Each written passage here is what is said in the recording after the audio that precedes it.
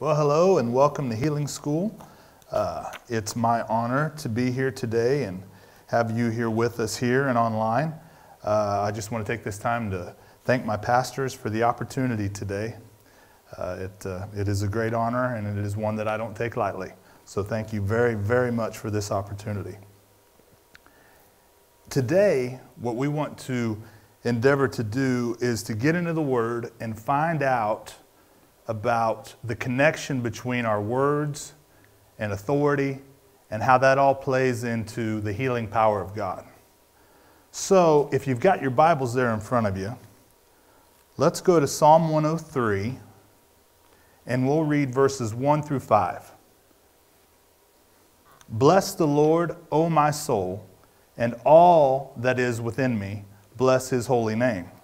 Bless the Lord, O my soul and forget not all his benefits, who forgives all thine iniquities, who heals all thy diseases, who redeems thy life from destruction, who crowns thee with loving kindness and tender mercies, who satisfies thy mouth with good things, so that thy youth is renewed like the eagles. Those verses right there, you're prophesying to yourself. You're prophesying your own life when you take these verses and you put them in your mouth and you speak them out of your heart. Now, a minister told the story one time uh, that they heard, they overheard a man at uh, a medical office, and he was having he was having a procedure done. He was having a lot of work done, and this man said out of his mouth, out of his own mouth, he said, "Bad things begin to happen in your body after you become 60 years old." And that's what he told the receptionist. Well, he was prophesying his own demise. You see that? He said, Bad things happened to me in my body after I became 60 years old. Now, this minister said immediately that, that the spirit within them was alarmed. And this minister said, No, no, no, I don't receive that in Jesus' name. And began to refresh themselves in what they learned about the healing power of words. So, do you see that there in Psalm 103? That you can strengthen your confession of faith with these words? You have to take authority and you have to take dominion over your body with your words. All right? Look at Matthew 12.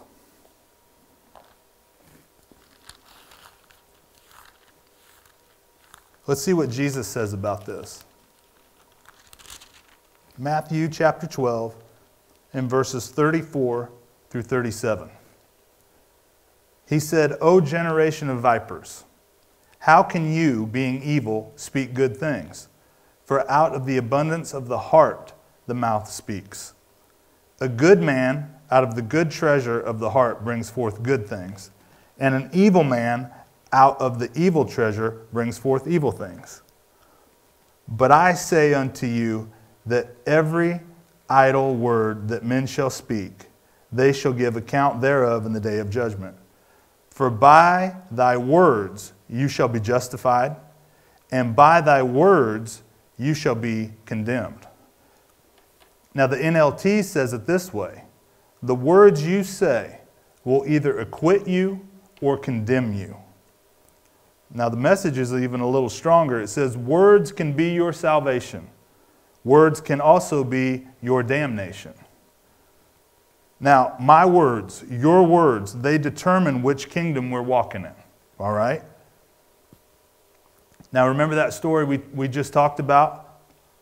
The world and, and some Christians generally talk like that man in that doctor's office. That's how they're talking, and that's how they're speaking. They don't realize the power that's in their words. But praise God, we're getting light on this, and, and, and, I, and I hope, and my hope is that at the end of this, we see how important it is what's coming out of our mouth and how, with the right words, with, with God's word in our spirit and coming out of our mouth, then we get God's results. See, that's why He's given it to us in, in word form, in book form, so you can take it you can take it and you get his results because it's his word. All right? By your words, you're healed, and by your words, you're sick. Now that's, that's strong, but it's true. Look at Proverbs 10 14. And in the NIV, it says it this way It says, Wise men store up knowledge, but the mouth of a fool invites ruin. No one has a choice of whether or not they live by words. We don't have that choice, all right? We don't have a choice of whether or not we live by words. But we do have a choice of what words we live by, all right? You choose. You get to choose which words you use. And the Bible says choose life, right? Choose words filled with life, all right? Some uh, medical research reports here, and you may have heard these before, but that's all right. They'll build your faith. And this is medical research concerning the power of words. Medical science has discovered that the part of the brain which controls human speech is connected to every nerve of the body. All right? Now, this is from an article in Reader's Digest. And they, they asked the question Is your health excellent, good, fair, or poor? All right? Now, a study of more than 2,800 men and women, ages 65 and older, found that those who rate their health as poor are four to five times more likely to die in the next four years than those who rate their health excellent. This was the case even if the examination showed the respondents to be in comparable health.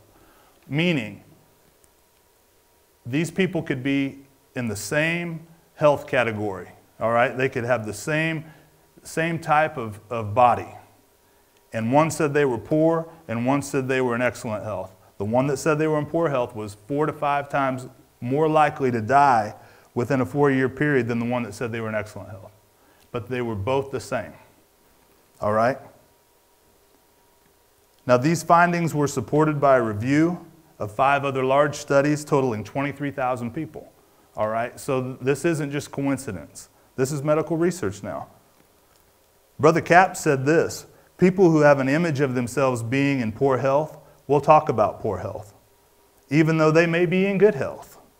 They seem to live out the reality of the image they have of themselves, even unto death. That's why we've got to see what God says about us in the Word, and then we build that image on the inside of us until that's all we see. We don't see the symptoms. We don't, we don't see here with the report. We don't see that. We don't ignore it, but we choose to see a higher report. This was, a, this was from a newspaper article, and it was by a neurosurgeon, and it happened to be printed in uh, the Shreveport Times, all right? And he was using a method which he called, quote unquote, mental exercise, which involves telling your body what to do. Well, we've been talking about that. You got to take authority. You got to tell your body what to do.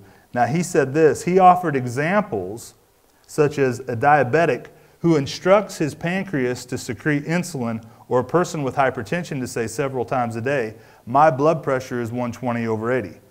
This doctor said, "It makes no difference whether the patient even knows where his pancreas is or what 120 over 80 means."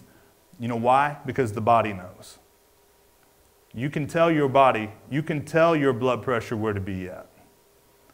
You tell it. Your body knows what to do with the faith filled words. And then there was an article about a lady that had a continual fever for several, several months. Doctors couldn't find anything wrong. When questioned, they discovered that when she got upset, now listen, this is what was coming out of her mouth. She would say, That just burns me up. And she would say it several times a day. They weren't sure if there was connection, but they asked her not to use that phrase anymore. And within weeks, her body temperature was normal. Well, that's not coincidence. She was having what she said. She was, she was taking authority over her body by saying, That burns me up, but it was authority in the wrong way. And then when she quit saying it, her body came back down to the, to the normal temperature it needed to be. See, there's a connection. There's a connection with what's coming out of our mouth and the healing power of God. Because we've talked about this at length, but let's go there again. Let's go to Proverbs chapter 4 and verse 20, and we'll read through 22, and then we'll move into, we'll move into uh, some scriptures here in Proverbs. But we'll start here in 420. My son, attend to my words, incline thine ear unto my sayings. Let them not depart from thine eyes. Keep them in the midst of thine heart. For they are life unto those that find them, and health to all their flesh. All right? So we see that. We see that the Word is life unto those that find it, and the Word is health to all our flesh. So Proverbs 10 11 says, The mouth of a righteous man is a well of life. That well meaning spring, purification, joy, source of life. The NLT says the words of the godly are a life giving fountain. Well, that's what you want. That's what you want coming out of your mouth. That's what you want your body hearing a life giving fountain, right? The mouth of the just is a vein of life, all right? Proverbs 12, 14. A man shall be satisfied with good by the fruit of his mouth. From the fruit of his lips, a man is filled with good things. Proverbs 12, 18. The tongue of the wise is health. Do you think God's trying to get this across to us? The Amplified of that verse says, The tongue of the wise brings healing. The tongue of the wise makes one well again. The tongue of the wise heals. Do you see your connection? Do you see what the connection of what's coming out of your mouth with the healing power of God? Proverbs 13:3 He that keeps his mouth keeps his life, but he that openeth wide his lips shall have destruction. The NLT of that verse says, Those who control their tongue will have a long life. He who guards his lips guards his life, preserves his life protects his own life. But it's not with your own protection, it's with the Word. You're protecting your life with God's Word coming out of your mouth. All right? Proverbs 15:4 A wholesome tongue is a tree of life. The Amplified says, A gentle tongue with its healing power is a tree of life. Healing power. All right? Proverbs 16:24 Pleasant words are as a honeycomb, sweet to the soul, and health to the bones. Pleasant words are as a honeycomb, sweet to the mind, and healing to the body. Pleasing words are like honey, sweet to the soul, and new life to the bones. New life. New life to the bones.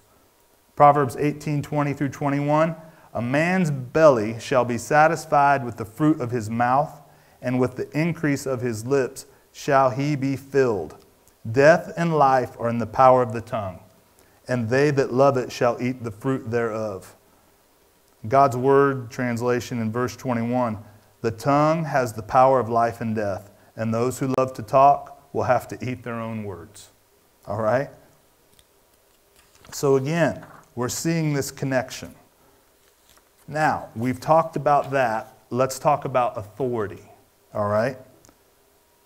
Now that you know, you know the power, you know what, what God has to say and what He thinks about the words that are coming out of our mouth, then let's see what He says about using His words to take authority over our own body. So if you'll go with me to 1 Corinthians, and we'll start here in chapter 9.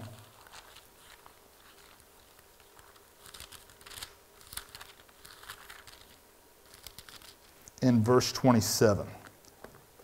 Now, this is Paul, and he's speaking here, and he says, But I keep under my body and bring it into subjection, lest that by any means, when I have preached to others, I myself should be a castaway or disqualified. I keep under my body and bring it into subjection. Now, that word subjection means treat as a slave, lead it along, make it fully compliant to the will of a master.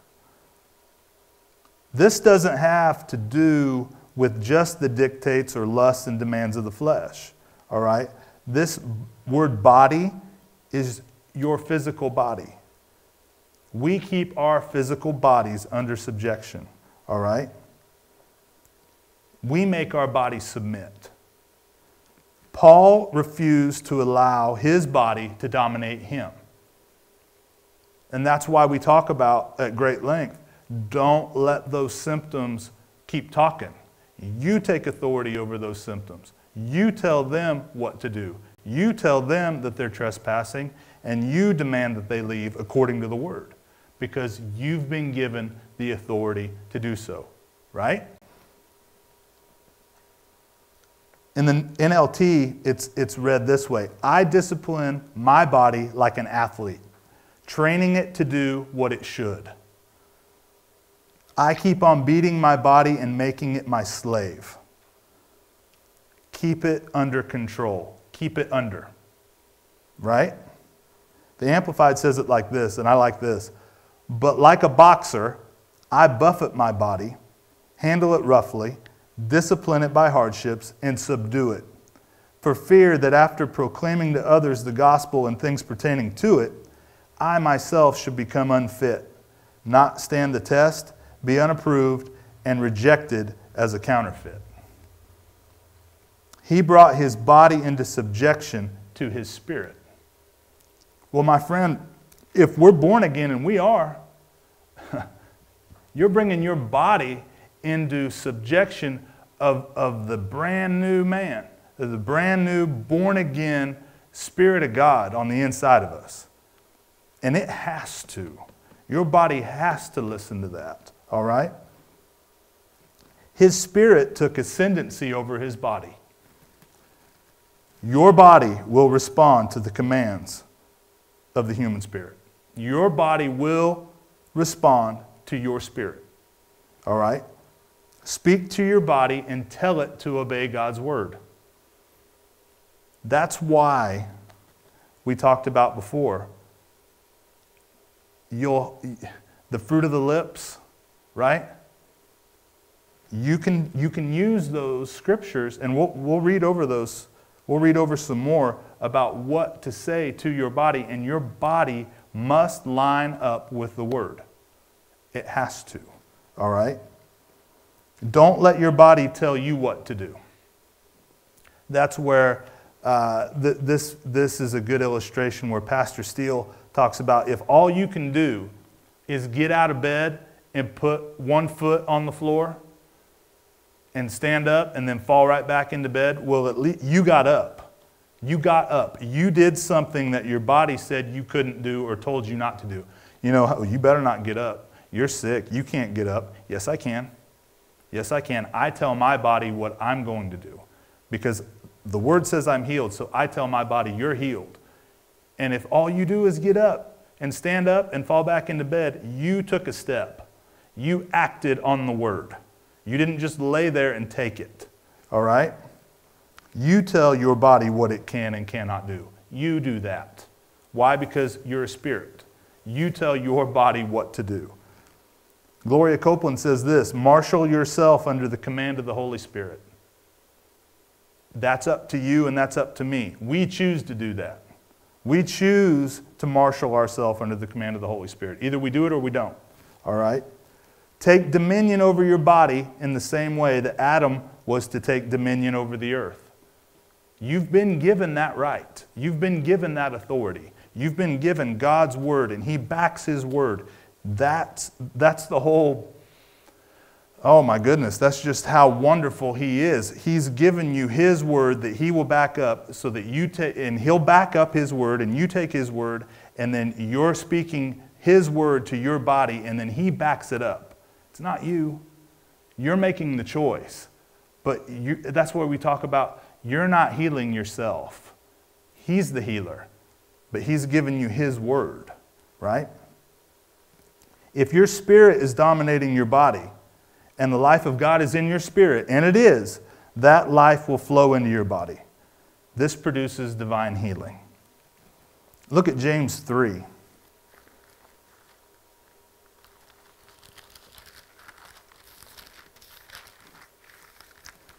James chapter 3 and verse 2.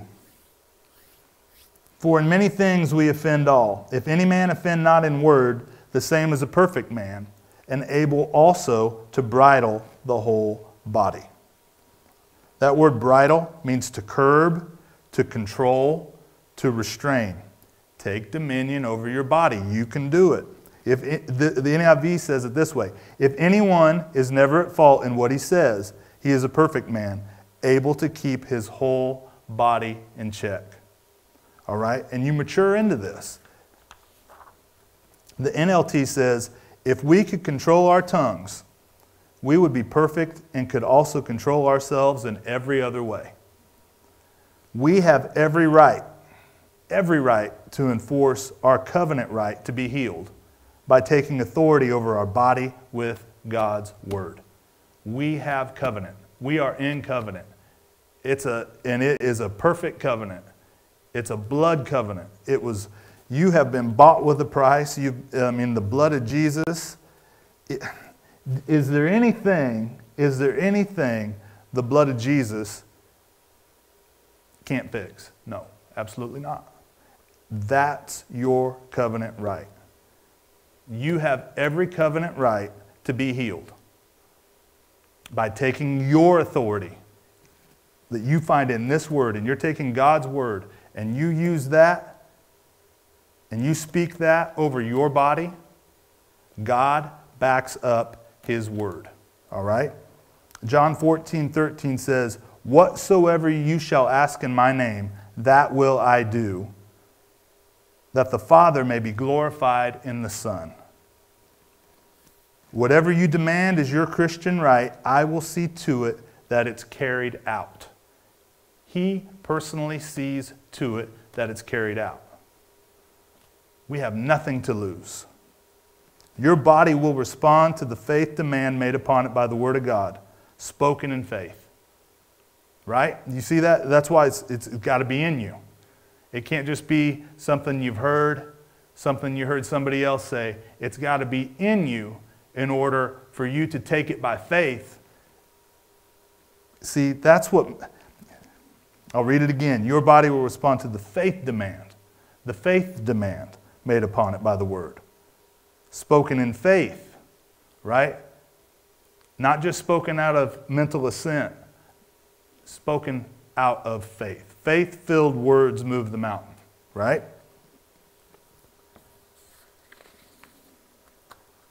I like this next uh, quote made by a minister. They said, If your mouth will feed your heart faith when you don't need it, your heart will feed your mouth faith when you do need it.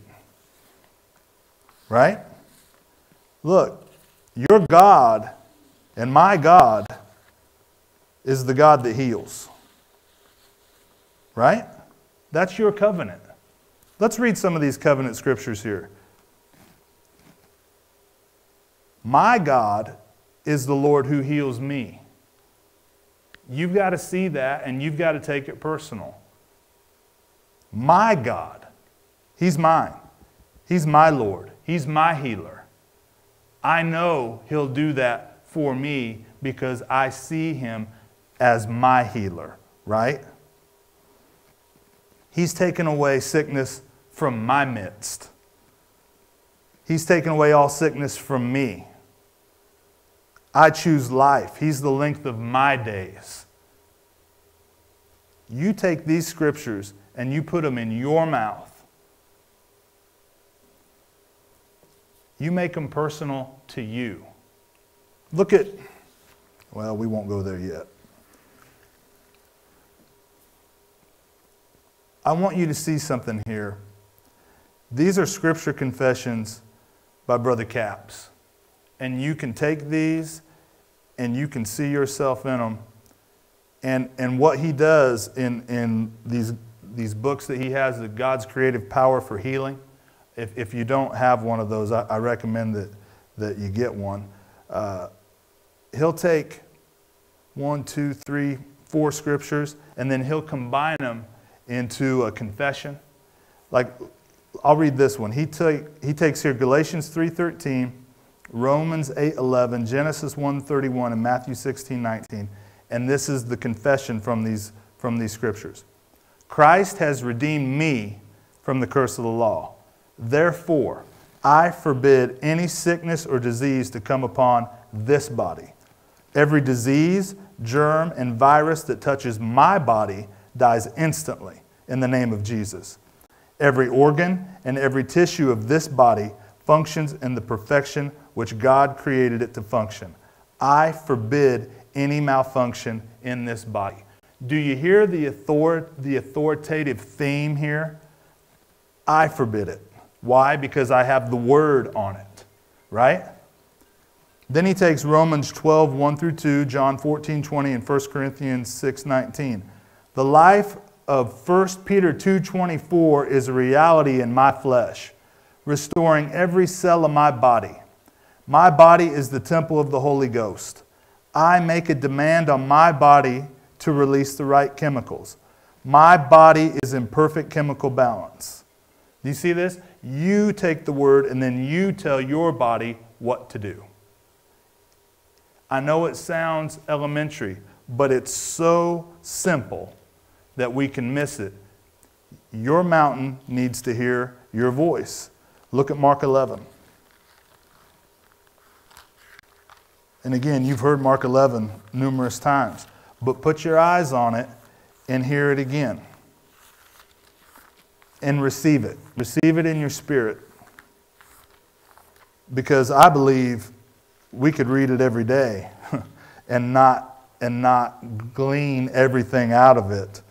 I mean, it, it, the Bible's expanding revelation, and you're not going to get full faith from just reading it even a hundred times.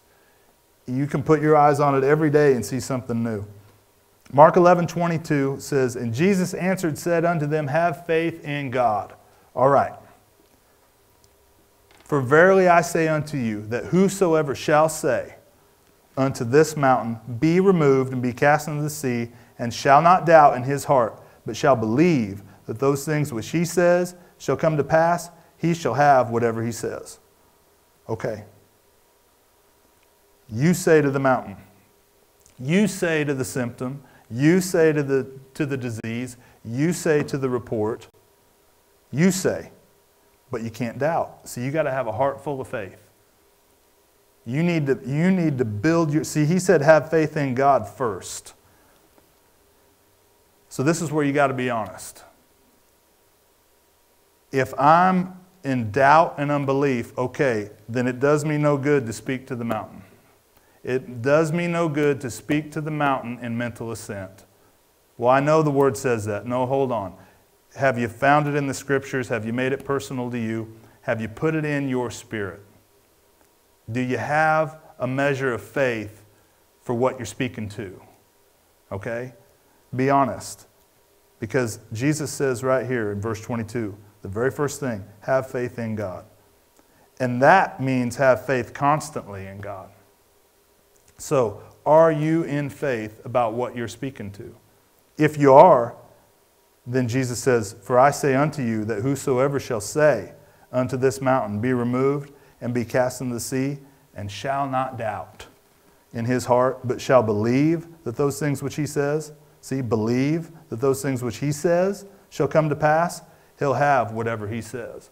And that takes us all the way back to the beginning of this teaching uh, today you'll have what you say, regardless if it's good or bad.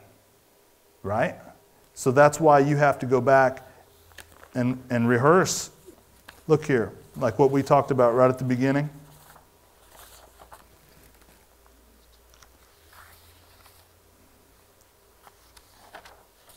There in Proverbs. He that keeps his mouth keeps his life, but he that opens wide his lips shall have destruction. Those who control their tongue will have a long life. Well, doesn't that sound like, doesn't that kind of sound like what Jesus was just saying there? With speaking to the mountain and you'll have what you say? Okay, you'll have what you say. What are you saying? Are you, are you having what you're saying? Yes, you are.